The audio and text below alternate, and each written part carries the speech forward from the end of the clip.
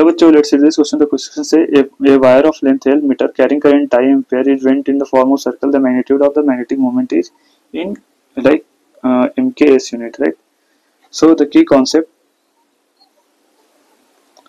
used here is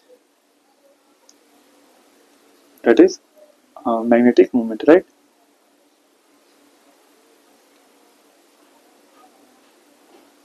we know magnetic moment हमारा क्या होता है? डेट इज़ आई इन ए होता है। राइट सो सबसे पहले हमारा क्या था? एक वायर था जिसकी लेंथ एल थी राइट एंड उसे हम सर्कल में बेंड कर देते हैं राइट इसी वायर को सर्कल में बेंड कर दिया, जिसका लेट से रेडियस आर है।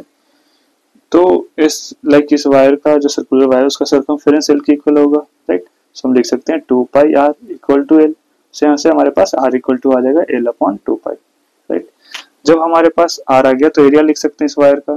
That is pi into R square right this is the area so area हमारा क्या हो जाएगा? A equal to pi into R square R की value L upon like two pi का स्क्वायर हो जाएगा ये. That is equal to pi into L square upon four pi square so pi से पाई कैंसल आउट हो जाएगा. हमारे पास ए equal to आ जाएगा. That is L square upon four pi right so यहाँ से हमारे पास मैग्नेटिक मोमेंट क्या आ जाएगा? That is M equal to I into.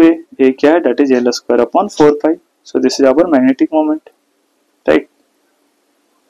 So our final answer is that is M equal to that is magnetic moment equal to I L square upon 4 pi, right?